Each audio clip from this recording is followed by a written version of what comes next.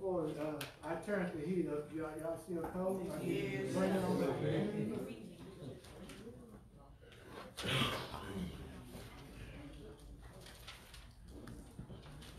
I heard an oh, oh, sorry, I'm the same.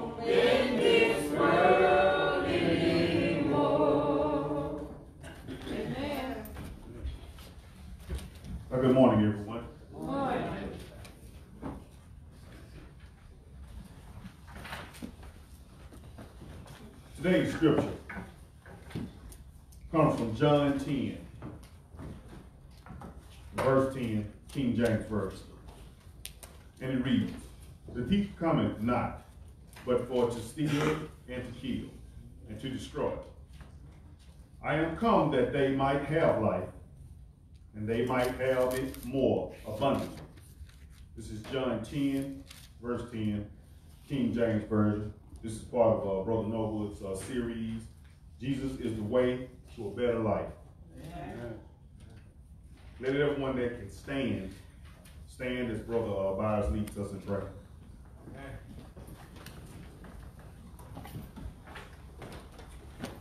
Good morning, everyone. Good morning. I want everybody to be mindful that the church of Laodicea was a dead church. Amen. God wasn't pleased. Amen. And with that, we will go forward. Let us all bow, please. Our Father in heaven, we bow our head this morning, Lord, just thanking you for your goodness and your mercy, Lord. We look up to you with all power, Lord, for we know you hold the whole world in your hands, Lord. And we just thank you for life, Lord.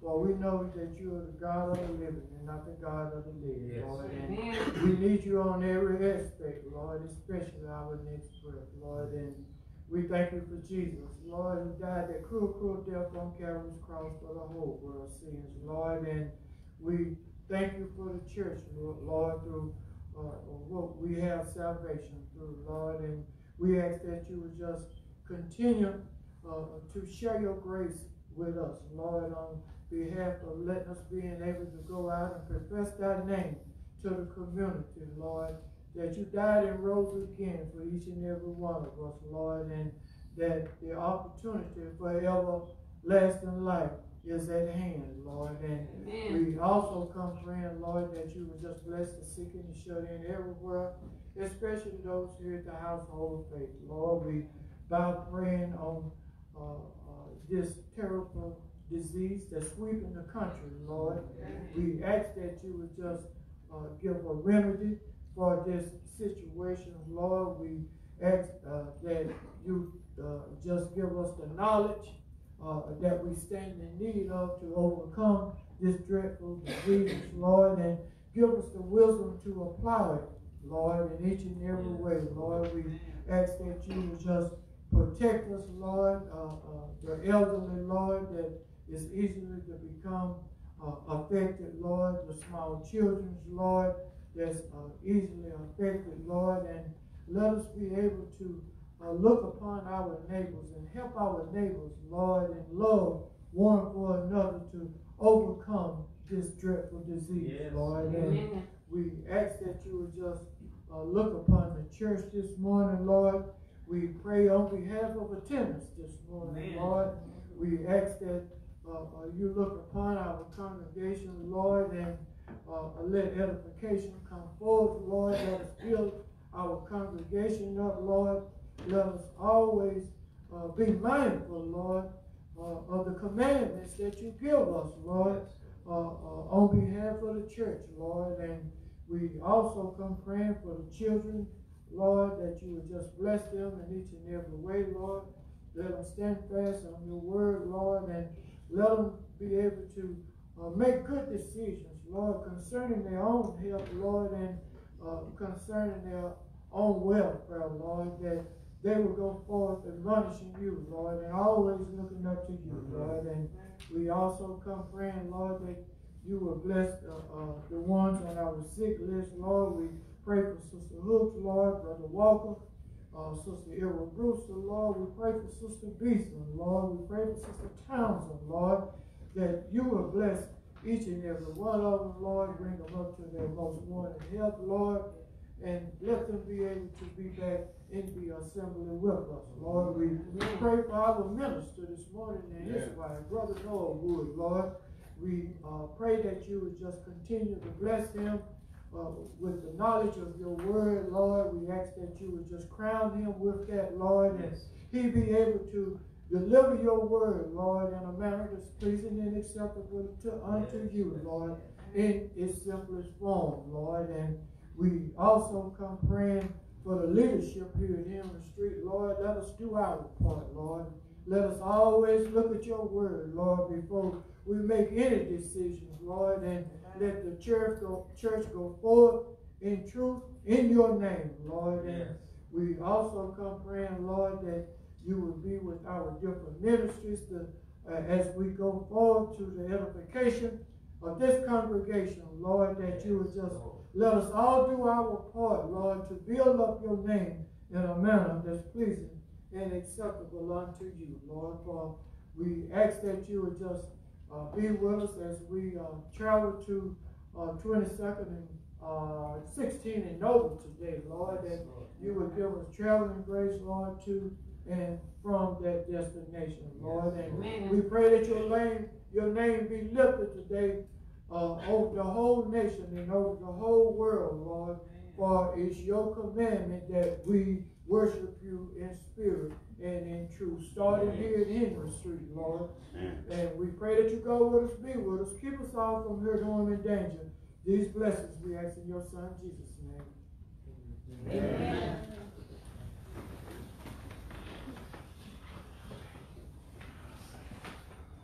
Mark your hymnals, page eight, the song invitation, page eight, the song invitation.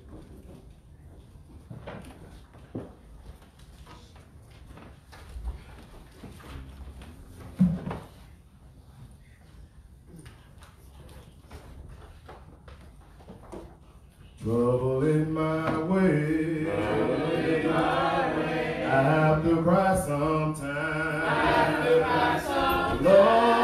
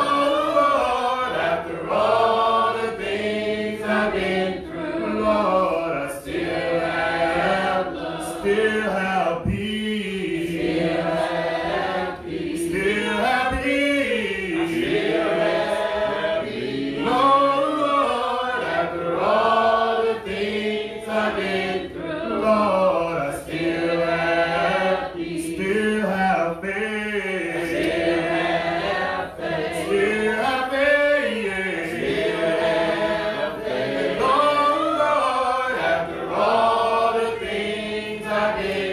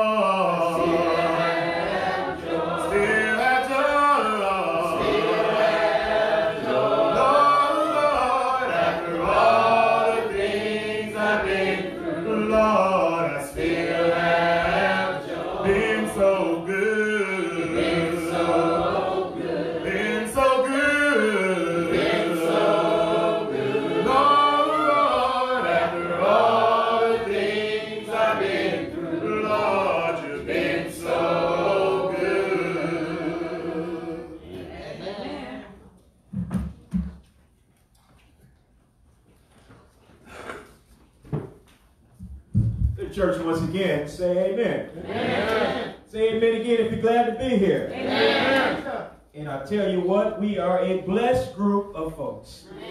Of course, we know we're blessed first and foremost because Jesus is our Lord and our Savior. Without Him, you cannot do anything.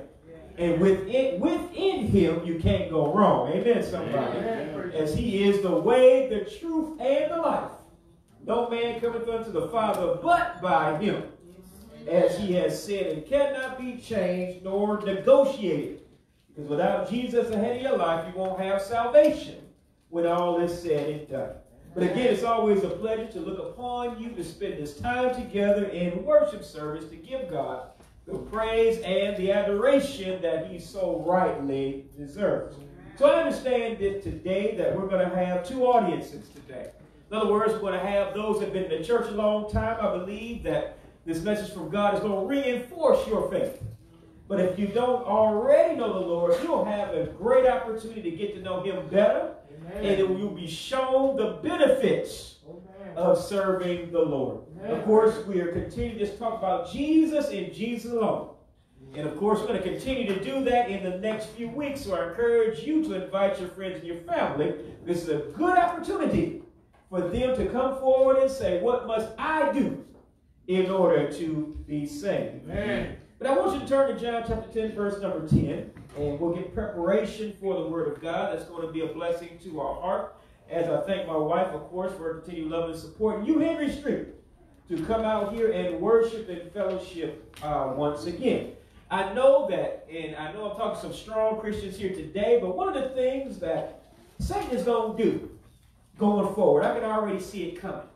You know, with the coronavirus hit every continent right now, Amen. The, what you're seeing on the news is that people they're saying people should not congregate.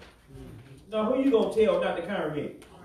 Because congregate first and foremost comes to the church. Amen. Because we are the congregation Amen. of congregations. Amen, somebody.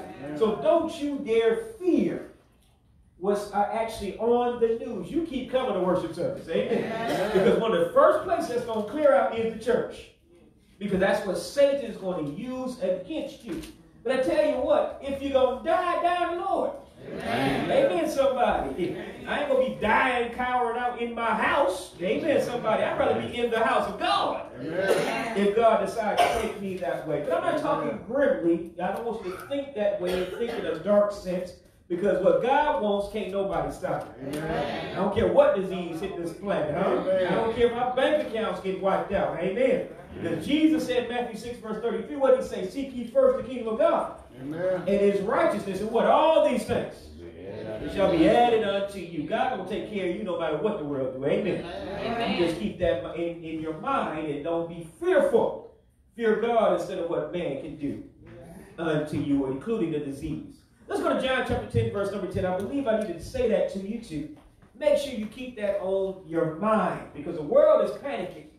The Christian has no reason to panic because we serve the one that has said, I'm with you always, even until what? The end of the world. Let's go to John 10, verse number 10 for a minute here. I don't want to be uh, too long with preliminary co- uh, uh, comments here because we got a deep word this morning we need to get into. But John 10, verse 10, when you have somebody say amen. Amen. Okay, here's what Jesus says. This is out of the King James Version. It says, The thief cometh not, but for to steal and to kill and to destroy.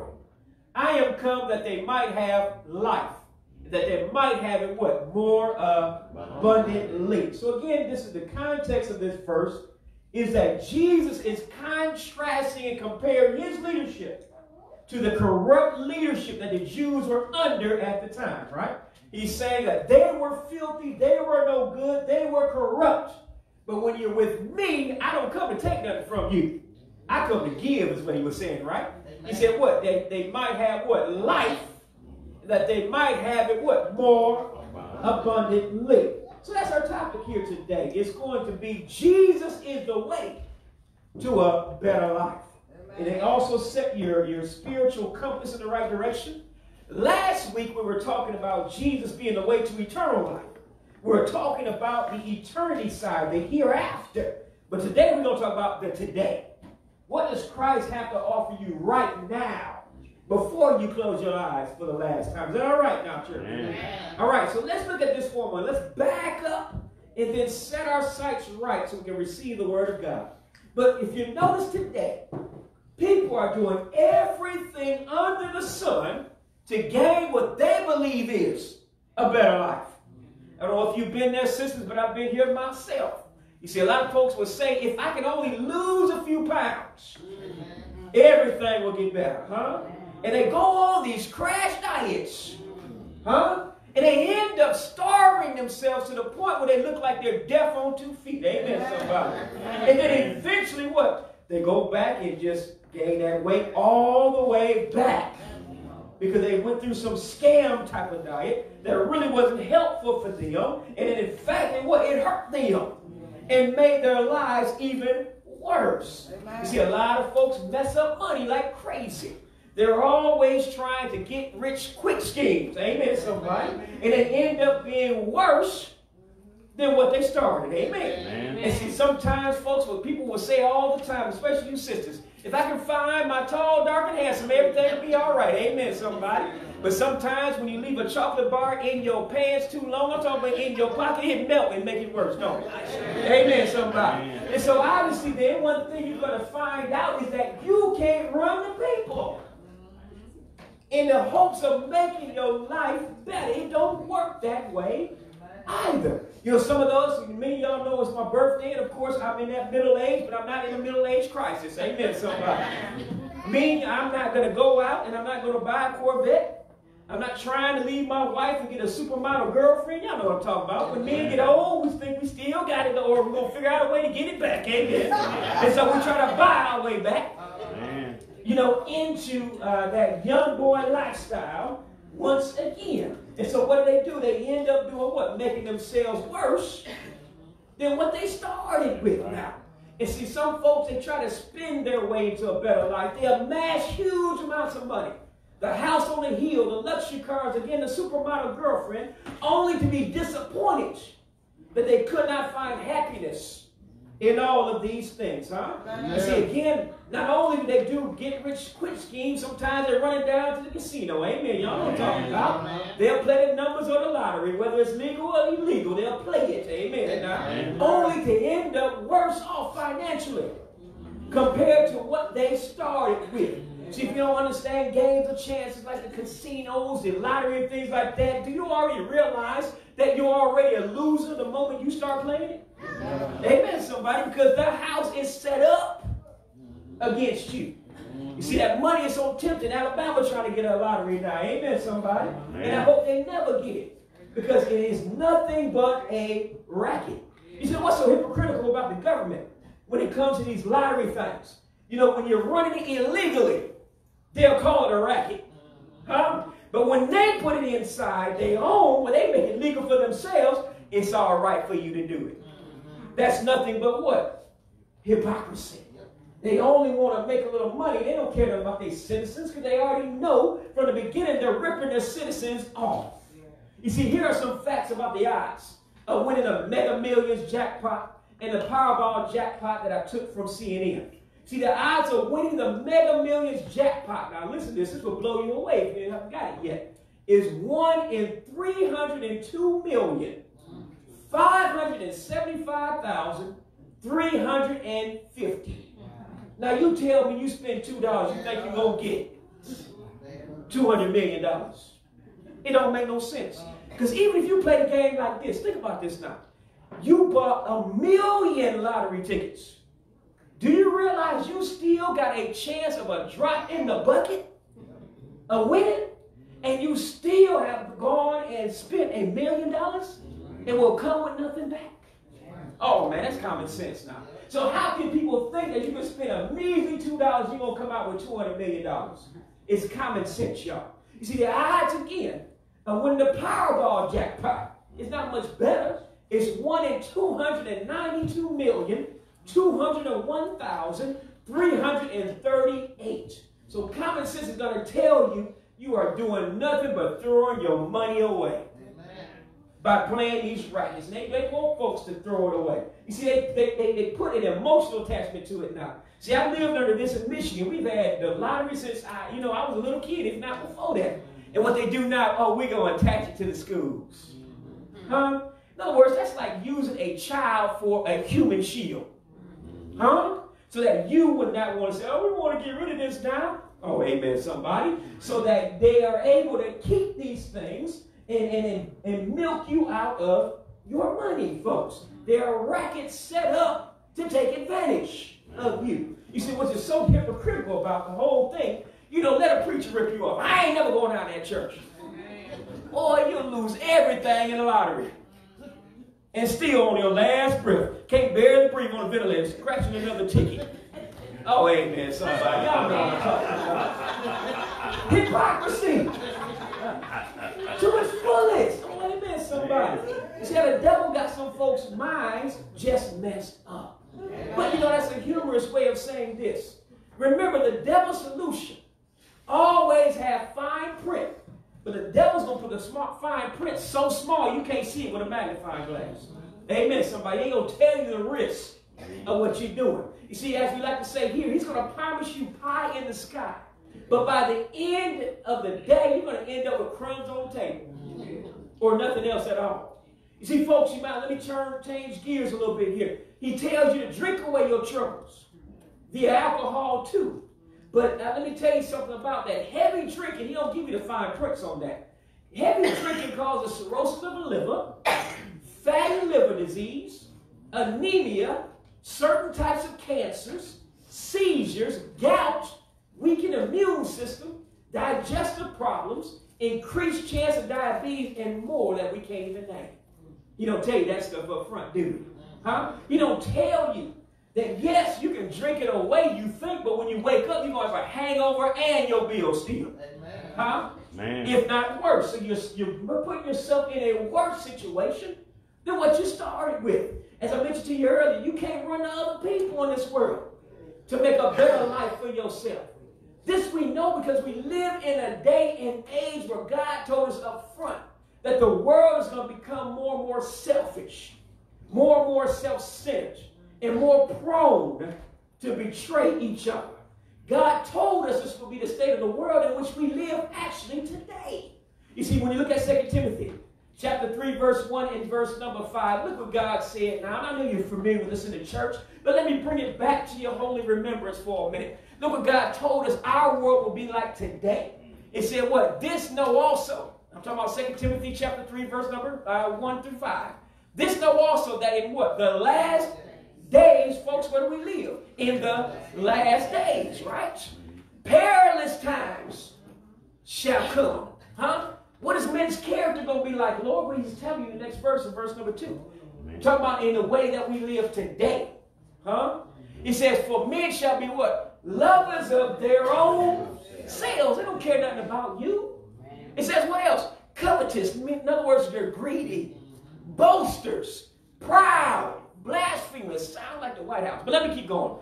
Disobedient to parents. Unthankful. Unholy.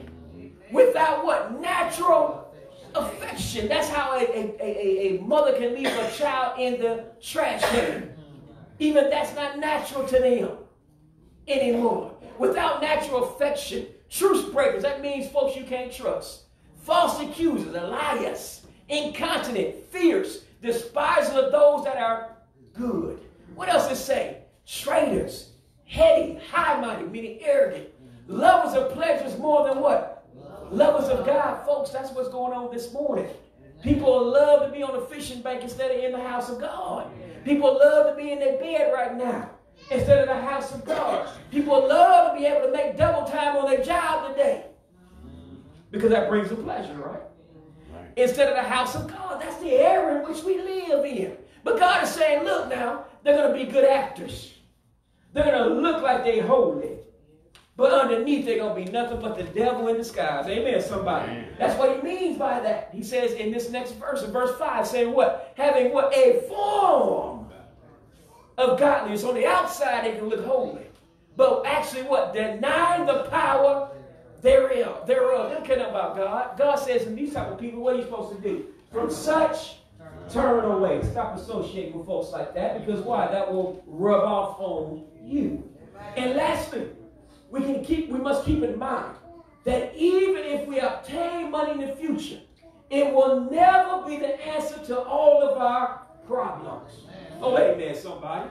Y'all need to quit going home and say, I can't wait till 638 hit. Amen. Because you ain't gonna get no better off. Even if your number come in. Y'all know what I'm talking about. Don't act like you're holy and don't know what I'm talking about here today. My number, you've been playing it for two years, amen. Ain't came in then, ain't coming in now. Amen, somebody. Be, be smart about these things now. And so God is showing us, folks, even money is never going to be the answer to your problems. Amen. God forewarns us. He tells us to stay away from trusting in money anyway in many passages of Scripture. Let me give you a few examples and we'll move on. First Timothy chapter 6, verse number 10 is probably the most uh, uh, the, the most famous one of them all. Look what God tells us. He says what? For the love of money is what? The root of all evil. What is the root? The beginning. The main cause of concern. So you trying to tell me that you say that's going to be your solution? No, God is saying that's going to be the beginning of the troubles in your life. Your love of what? Money. For the love of money is what? The root of all evil, which while somewhat coveted after, in other words, they were greedy, they chased it. They have done what in the process? They have what? Erred from the faith. They walked away from being a Christian because of money. And what? Pierced themselves through with what? Many sorrows. Meaning what? They regret it. And they regret it to the point that it just stabs them in the heart of all the mistakes that they had made that they didn't have to make chasing money. Think about. How many men have lost their wives and their children? They may have become financially good, but have become a horrible husband. Have become a, what? A horrible father. These folks, when they go to their grave, they often have regrets saying, I wish I'd have done things a different way. My wife was more precious than my bank account. Huh?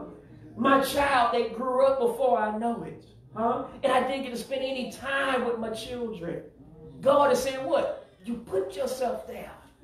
Your love of money was greater than your love for your family.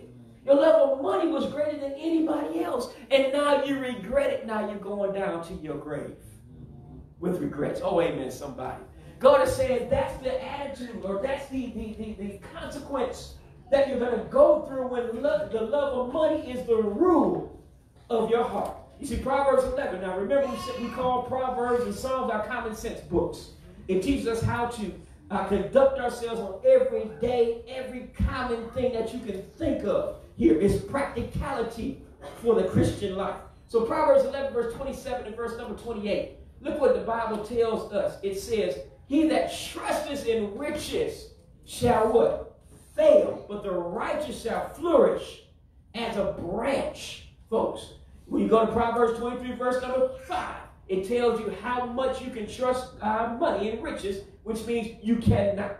When you look at Proverbs 23, verse number 5, it says, Wilt thou set thine eyes upon that which is not? For riches certainly make themselves wings. They fly as what? An eagle toward heaven. Amen, somebody. And so obviously then, God is saying, Seek ye first the kingdom of God and his righteousness, and all these things shall be what? Added unto you. He's saying what? Be spiritually minded. Don't worry about the material side of life because God is going to provide that for you anyway. As long as you're seeking for your soul to be saved and you're trying to live right, God got the rest of it for you. So here comes the question as we shortly come to a close. Ask yourself, so where can we go? It's like the old hymn goes, where could I go? Seeking what, church? A refuge for my soul. Well, we know the answer is not the mega millions. We know it's not Powerball. It's not the arms of somebody else. The answer is Jesus, Jesus, and nobody but Jesus. Think about it again. Financial security is actually in Jesus. We just said, let me say it one more time. What in Matthew 6, verse 33 says when it comes to our financial status, he says, But seek ye what first? The kingdom of God and his righteousness, and all these things shall what, church? Be added unto you. Peace of mind is in Jesus, not at the bottle of an alcohol uh, uh, uh, drink that you may want. Peace of mind is in Jesus because he said in John chapter 16, verse number 33, he said, These things I have spoken unto you that in me you might have what? Where is it? It's not at the bottom of alcohol, is it? It's not in drugs. It's not in anybody else. He said, in me, he's talking about himself, right? You might have what? Peace. Peace is in Christ. A better life is in Christ. Financial security is in Christ. These are the things God gives us now. Huh? If you're rooted in the faith that Jesus Christ is your Lord and Savior, and that's deeply rooted in your heart, can't nobody take it from you? That means nobody can take your peace from you either. Hmm? Look what he says. These things I have spoken unto you, that in me you might have what? Peace. In the world you shall have what? Tribulation. Well, what if I'm a millionaire? In the world you will have tribulation, huh? What if I get my Prince Charming, as you ladies would say? What if I get my dream girl? What does it say? You're still going to have what? Tribulation, huh? What if I get the house on the hill? What if I get the luxury cars? What if I get a ring on every finger? The Bible says what? In the world you shall have still tribulation. You're going to have trouble. Because these things are not what the solution for you. Jesus comforts us. He says, but be of what? Good cheer. Huh? Smile. Because why? I have overcome the world. Jesus is showing us that he is proof that what he's saying is true. Huh? He is proof that he is all power in heaven and in earth. Because nobody else was able to get out of the grave never to die ever again, huh? Nobody else is anointed or appointed, that is, King of Kings and Lord of Lords. Amen, somebody. Nobody else is going on that judgment day step on the head of the serpent, talking about Satan. Amen, somebody. And cast him into the lake of fire, prepared for what? The devil and his angels. Matthew 25, verse 31 to verse number 46 teaches us that on the judgment day to come. And of course, eternal salvation, the greatest gift, the greatest reward, the greatest goal ever obtained is only in Jesus and Jesus alone. Because the Word of God says this about him in Romans chapter 8, verse number 1. And this applies to every Christian that ever lived that will stay faithful to Jesus unto death. Look what he says. There is therefore now what? No condemnation. Huh? That means what? No judgment against you. No wrath of God against you on the judgment day. Instead, God says what? There is there are now no condemnation to them which are what? In Christ Jesus. Who walk not now. This is our responsibility, right? What he say? Who walk not after the flesh. That means don't live rebellious to God, right? But after what? The Spirit. Remember, that's a capital S. That means after what the Holy Spirit commands, right? And what did the Holy Spirit command? Everything in the New Testament of the Bible. Amen, somebody. He said, as long as you have that, God is not going to have anything to hold against you on the judgment day. Amen, somebody. You're going to walk down those streets of gold. You'll be able to redeem the treasures in the heaven that you're waiting on down here. Amen, somebody. Remember, God said, don't allow your, your mind to be centered on things down here, but let your treasure be what? In heaven. But in your responsibility then is what? Not to walk after the what? Flesh, but after what? The Spirit. The Spirit. Amen, somebody. I think you got it here this morning. And so the question then becomes then, the better life is in Jesus Christ and nowhere else. The better life, I'm talking about in Jesus Christ, is now and forever. The better life is the one in which you're, you're, you're, you're, you're in the bosom of Jesus as his disciple. You are a child of God. Your life on earth and in heaven gets better for you if you give your life to Christ Jesus in truth and in sincerity. Any believers out there here today? So the question then begins, uh, becomes, will you make the choice to have a better life now and forever by coming to Jesus today for salvation? That is a decision that you're going to have to make for yourself. May God bless and keep you. This portion of the message is yours. We'll continue this on the next occasion about Jesus being the better way. Huh? Now and forever. So again, I encourage you to invite your family, your friends out. Because all we're going to do is talk about Jesus, Jesus, and more about Jesus. Is that all right? And hopefully they say, what must I do to become a part of this? What must I do to gain a better life? What must I do, most of all, to have what? Eternal life waiting for me. Well, let me answer that question. Well, God tells us, He calls it the plan of salvation.